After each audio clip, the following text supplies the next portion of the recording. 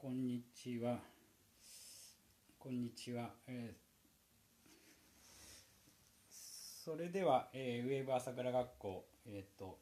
第2週を始めてまいりたいと思います。えっと、えーまず、その、第2週、3月の9日から、あの、3月の、えー13日月から金までの、えー仮えー内容を、えーお知らせします。で、えーっと、こんな形を進めていきます。で、えっと、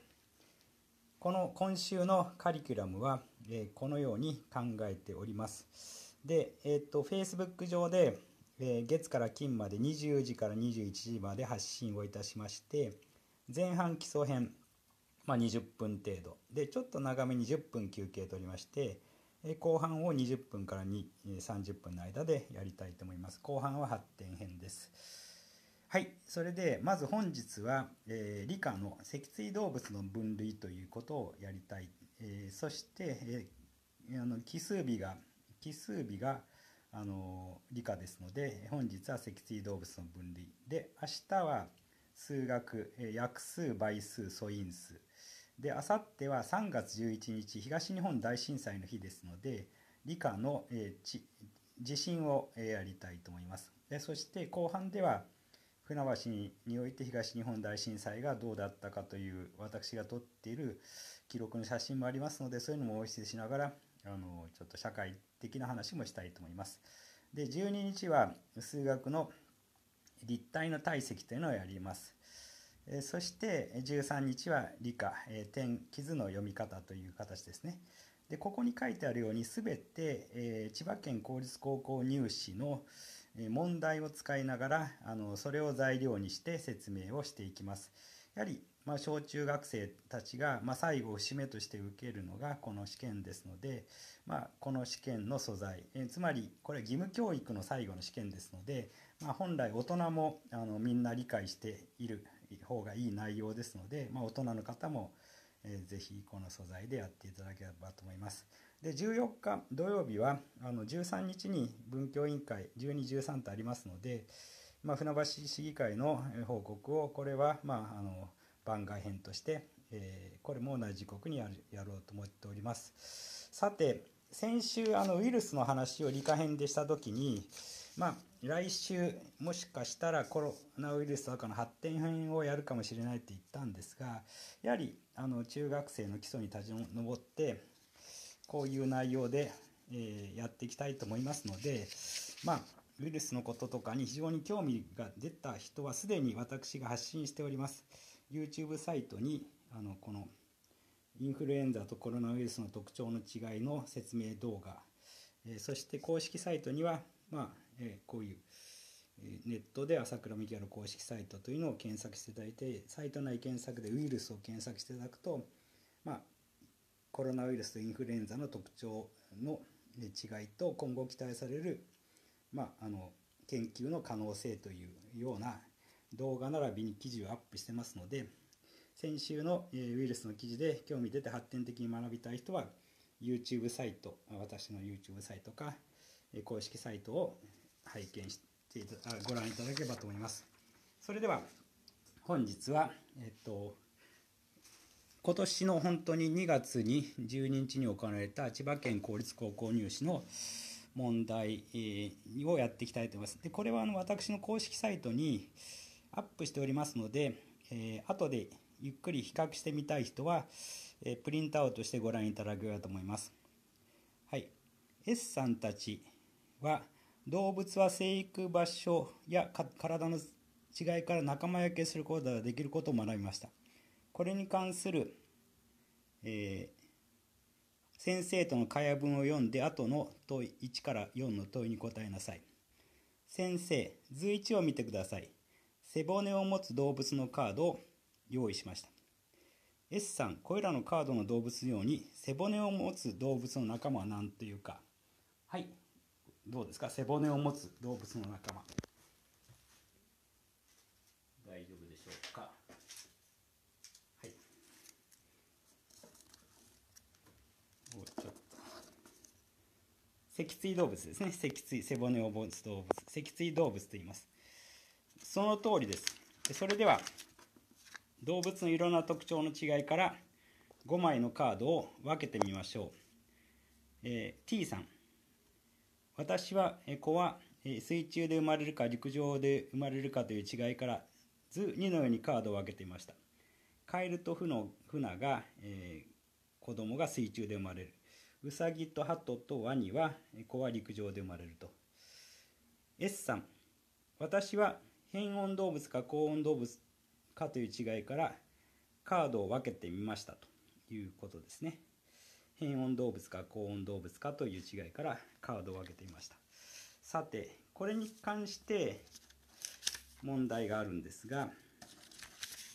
こんな形ですね。えっと、会話文の下線部について高温動物であるものを2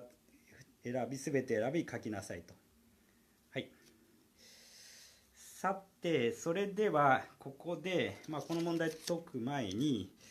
生物っていうのは実はあの非常に長い進化の中で徐々に変わっていきそしてね分かれてきたんですね2つの生物が分かれてきたという歴史があります。でその歴史を、えー、紐解きながら、まあ、簡単に紐解きながらあの、まあ、考えてみたいと思います。で、えー、生物のそのそのグループの生物の多くがどこに住むかで大体の進化あの生物が、えー、長いかけ時間かけて分かれてきた歴史が分かりますのでちょっとこの図で確認してみたいと思います。はいこれは実は地学の方の説明で使った川と、えー、海におけるあの岩石のでき方の違いの説明なんですけどちょうど海があって川があって陸地があるのでそしてま山もあるのでまあ分かりやすいかなと思ってこれを使わせていただきます。さて、えーと、このかあの問題に与えられたのは5枚のカードですね。えっとワニあとうさぎふなもう一つあったカエルさて、えー、それぞれどこに住んでるでしょうか？どこに住んでるでしょうか？えっとまずフナはどこに住んでますか？川の中ですね。川の中です。川の中です。そしてえっとカエルはどこに住んでますか？カエル。まあ、ちょうど川とまあ、陸の境目のとこに住んでますね。でちょっとワニは、えっとまあ、川の中ですよね。川の中です。はい、さて鳩はどこかというと、まあ、ここら辺の陸上の、えー、まあ、歩きながら時々飛んでるわけですね。そしてウサギは陸上にいるということです。そうすると、まあ、川この、えー、挙げられた生物の中では水の中に、え主な生活をしているものと陸地に、えいるものが分かれます。ただちょっとワニというのは、まあ、確かに、え陸あの水中にいるんですが実はワニの仲間は爬虫類っていうんですけどその爬虫類の仲間はあの多くがトカ、まあ、後で出てきますけどトカゲなど陸上に住むものの方が多くてたまたまワニは、えー、水中に生活を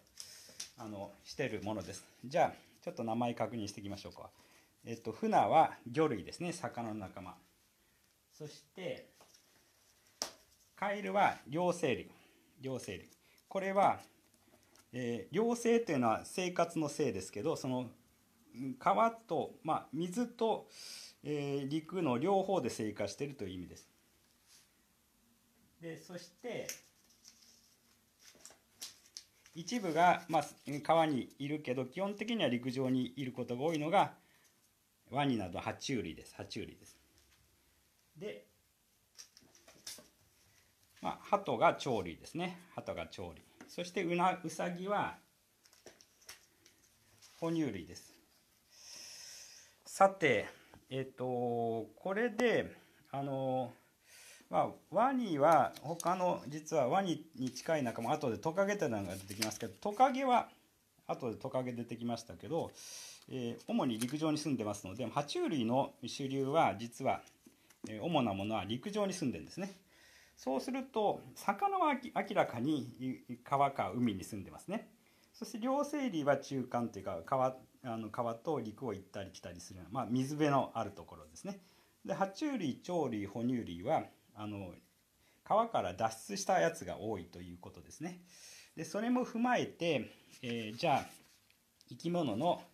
生き方をまままとめていきましょう。まず魚類は、えー、呼吸の方法としては川にいますのでエラで呼吸します。そして両生類カエルはオタマジャクシの時には陽性オタマジャクシの時にはエラで呼吸しやがて、えー、陸上になるとあのカエルになると肺で呼吸しますただカエルって結構あの皮膚が湿っていて皮膚でも呼吸してるのででも酸素の取り入れてるので皮膚の呼吸の比率も結構多いんですねそして爬虫類と鳥類と哺乳哺乳類は全て肺で呼吸してます。空気をあの空気から酸素を取り入れてるんですね。でワニなんかもだから水中に住むとはいえ必ず時々、えっと、水面に顔を出して空気を吸うんですね。クジラとかでもそう。クジラは哺乳類ですけどクジラも肺で、え呼吸しますので、まあ、水面に、えから水あの空気を吸っていくわけですね。あ水面っていうかあの空気中から空気をするために浮上してくるわけです。さて産み方なんですが卵の産み方。えー、水中で生活してる特に子どもの時は水中にいる両生類と魚類は卵で産む水中で卵で産むんですが陸上化してくるとあの実はこの陸上の環境というのは周りに水がないですね。水がないところが多いと。さてでも実は生き物は、まあ、今日はそこまでやる時間がないんですが全て大元は海から出発してきてるんですね海から出発してきてますだから水がある環境が特にちっちゃい時には必要なんですね。えー、その赤ちゃんの時には赤ちゃんというかその受精卵からあの赤ちゃんに至るまでは水が必要なんです。でそうするとこれはその卵をそのまま産む場所が水の中なんでいいんですがここは水がない。水がないとどうするかというと実はあのこのワニまあ爬虫類の仲間と鳥類の仲間はえっとまあ、例えば、えー、ヘビヘビとか、えー、卵を産みますね。あの亀も卵を産みます。爬虫類ですけど。あので鳥は卵を産みますね。これ皆さんの鶏の卵を食べてるか分かると思うんですけど。でその鶏の卵の中身を見てあのいただければ分かると思うんですが水っぽいですね。完全な水ということではないけど水っぽいんです。えつまりあのこれは卵の中に水分を閉じ込めてかつて海にいて生きていた時代と同じ環境をその最初その赤ちゃんが生まれる時に作ってるんですね。ということで爬虫類と鳥類も、えー、殻殻の月の卵の中に、まあ、海に近いような水分を蓄えてそこで赤ちゃんを発生させるんです。じゃあ哺乳類はどうでしょうか？皆さんは生まれてきた時にお母さんの羊水という水の中に浮いて、え生まれてきました、えー、胎盤というものの中で羊水に包まれて羊水というものの中に哺乳類は、えー、もう生まれてくるんです、まあ、例外もあるんですけどそういう形です。はい。という形。でそうすると確認しましょうか。えっ、と魚類と両生類は水で発生するので卵卵生でいいんですけど、えー、爬虫類と鳥類は同じ卵生なんだけど殻付き卵の中で産,、ま、産んで陸上なんだけど疑似的な海あ海のような環境を、えー、殻の中に作ることによって発生できる。でえ私たち哺乳類はあの例外もあるんですがあの基本的にお母さんの羊水という、まあ、これも海みたいな環境を作ってそこで発生するんですね。私たちの祖先が海で生活してきたので、まあ、海や川で生活してきたので、えー、生まれる時の最初の時はあのなんとか海のような環境を作って産んでるんですね。だからここは相当工夫してるんです。からあの産み方を工夫してます。さて体温なんですがあの魚類と両生類と爬虫類は、えー、外の外気の温度と同じ温度になっております。ただ鳥類と哺乳類は積極的に温度を高く保ってるんですね。皆さんは37度でまあ鳥類もほぼ同じような温度に積極的に保っていつでも冬冬の寒い時でも保つ性質があります。で特に爬虫類は陸上にいますけど、えー、温度を高く保つことができないのでしょうがないから冬は冬眠することが多いですね。眠って活動が温度を高くできないと活動ができないので爬虫類は冬眠することが多いと。いうことですね。まあそうあとこういう具体的な名前があります。さてあとその魚類は、えー、その水中にいましてまあ、鱗で受精卵と精子が出るのは体外です。えー、そして両生類はぬめってますね。皮膚が湿ってます。で体外で受精します。で爬虫類になるとトカゲとか鱗を持つんですね。あれで水分の乾燥を防ぐんです。そして体内で受精します。で、え、羽、えー、鳥は羽毛を持て体内受精で私たちは、まあ、人間はちょっと体毛が退化してるけど犬とか猫は体毛があるから分かると思うんですが哺乳類は体毛がはっきりしているという形になります。さてそれではえっとちょっと問題の続きを見てみましょうか。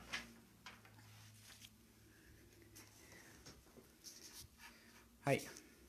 さてじゃあ確認しますと高温動物であるものは、えー、爬虫、えー、あの鳥類と哺乳類ですね。鳥類と哺乳類が高温動物ということになります。鳥類と哺乳類が高温動物ということになります。はい。それでは、えー、次。ちょっとここに鳥類と哺乳類が高温動物ですね、えー、このだから答えはあ答えで言うとこの中で言うとあとうが答えということになります。あとうが答えということになります。うさぎと鳩ですね。はい。それでは次。こっちの文章に戻ります。はい。今、S さんとの会話まできましたよ。先生、2人ともよくできました。まあ、T さんは水中で生まれるか陸上で生まれるかの区分。えー、S さんは高温か変温かの区分です。を発言しました。2人ともよくできました。では次に、図3を見てください。これはカエルとウサギの肺の一部を模式的に示したものであると。そうですね、ウサギの仲間の肺には肺胞と呼ばれる小さな袋が多くあります。肺胞の数が多いと、内々のために肺胞の前の血管で酸素と二酸化炭素の交換がよく行われるんです。なお、カエルやイモリの仲間は皮膚でも呼吸を行っています。カエルの肺とウサギの肺を比べるとこの肺胞という袋が非常にウサギの場合たくさんになってるんですねで人間もウサギと同じ哺乳類ですので肺胞の数がたくさんになっておりますさてでなぜ肺胞が多くするかということですねで皆さんの時代もそうでしょうか。私の時代はこの肺胞の説明を先生がすると必ずクラスの中で1人ぐらい「肺胞肺胞」という歌を歌う人がいましたけど皆さんの、え、時はどうでしたでしょうか。肺胞というのは肺のまあえー、まあ、包みという入れ物というふうに書いて小さな空気が入ってくる空間なんですがこれが枝分かれしてたくさん作ってるんですね。なぜか分かりますでしょうか。肺胞をたくさん作るとこれが、えっと、空気という言葉を使ってこの会話文の B なぜ肺胞がたくさん作るようになったのかという言葉を使って空気という言葉を使って説明しなさい。で空気を入れる表面積をたくさんにするんですね。カエルは皮膚で呼吸もできるのでそしてまだ肺呼吸が発達してないので肺胞が未熟なんですがウサギではもう皮膚から呼吸ができません。で肺だけで呼吸するので表面積を広くする必要があるんですね、えー、肺空気と触れる表面積が大きくなるということです。それでは次に。まあ先生の、うん、会話がまた続きます。えー、2人ともよまあここか。ウサギの肺はカエルの肺に比べて作りが簡単こここまできましたね。なおカエルやイモリの仲間は皮膚でも呼吸を行っています。イモリなら理科室で飼われてますので外見やトカゲによく似てますが、えー、肺他の特徴などあるでしょうか？確かに外見は似てますね。イモリとトカゲの特徴を比べてみましょうということで今度はイモリとトカゲを比べています。でイモリは何でしたでしょうか？カエルと同じ両生類で水中に主に住んでますね。時々あの呼吸するために水面に口を出しますけど水中で住んでいます。でトカゲは陸上ですね。トカゲは陸上です。でイモリとトカゲよりももっと名前が似てる生き物がいるんですが知ってますでしょうか？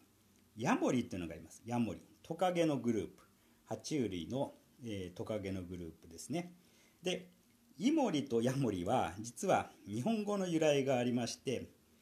こっち井戸の守り神。井戸の守り神で水の中に井戸という水の中にいるからイモリです。でヤモリというトカゲの仲間は家の守り神。矢というのは吉野家とかの牛丼の吉野家とかの矢と、えー、まあ、屋号の矢と屋号というか家という意味の言葉でありまして、えー、ヤモリですね。家の守り神ということでヤモリです。で井戸の守り神イモリと、まあ、あの家の守り神ヤモリは、まあ、井戸にいるか家にいるかということで水中か陸上かということで、えー、違うということですね。水中って言っても時々、まあ、陸上に出てきて、まあ、呼吸はしますけど。さてそれでは今までの知識でまとめてみますと両生類は水中で主に生活することが多くて発生は卵はあの水中に産みますので、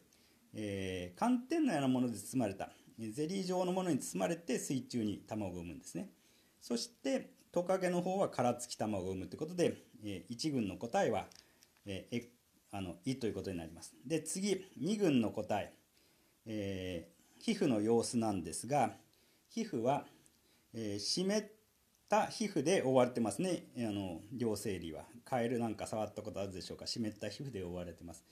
一方、えー、っと爬虫類は鱗で覆われてるんですね。という形で答えは「い」と「あ」という形になります。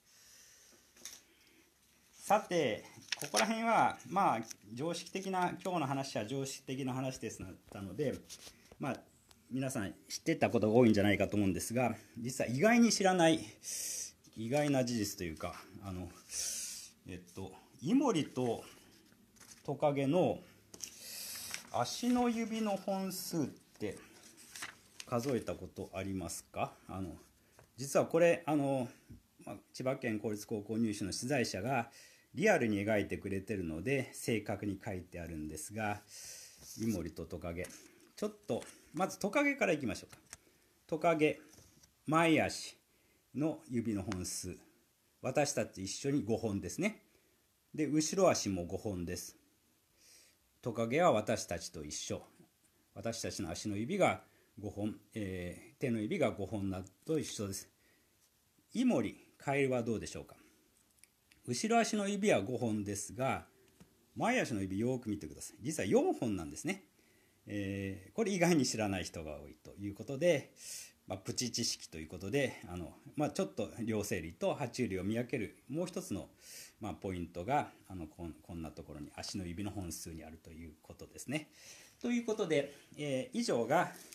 基礎編ということになりまして、えー、っとちょっと10分休んでからもうちょっと進化のこととか、まあ、私たちの体に残ってるあの、まあ、非常に不思議なあの特徴なんかの話を10分後にいたしますので、まあ、また、えー、じゃあちょっと最後ちょっとだけ前半化をお見せしまして